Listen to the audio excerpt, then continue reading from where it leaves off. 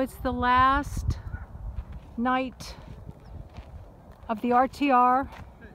Tomorrow morning, well actually tomorrow night, but tomorrow morning Bob will be giving his and Suanne will be giving their farewells.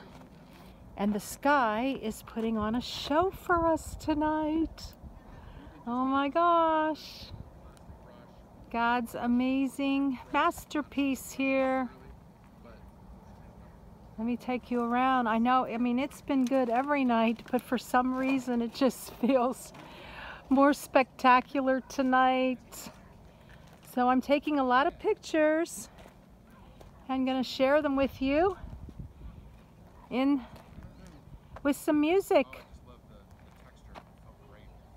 Linda here, Serene and Simple Life. This is the neighborhood. And there's the sky over there. Woo! Beautiful. Oh my gosh, look at this. Look at this. Woo. Some of this reminded me of the light in the darkness, that we may be the light in the darkness.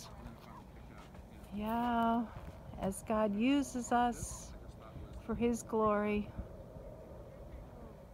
So, Linda here, Serene and Simple Life, if I haven't already told you that.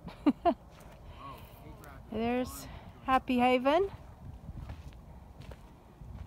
And I've got the lights ready to ready to put the blinkies on soon. There's straight ahead. I took some pictures from inside Happy Haven. Very exciting. It's such a warm night. It went up to about 75 today. So it'll be a nice warm evening as well.